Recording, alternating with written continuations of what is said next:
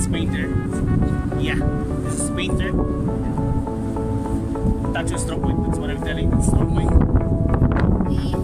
This is the bowsing line. Bowsing line.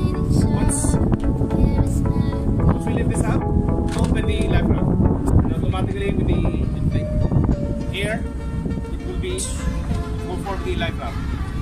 Then once the purpose of the bowsing line is to secure the ship, to secure the life raft to the ship, so we can board. But in any case, that is in good condition. Vessel is not listing the side not listing on this side. It's, that's another case. But in normal condition like this, swing it here inside. Then after normal condition, after we attach the bowsing lines and secure this to the side, we can board. That's another way. There's another way also. We can board water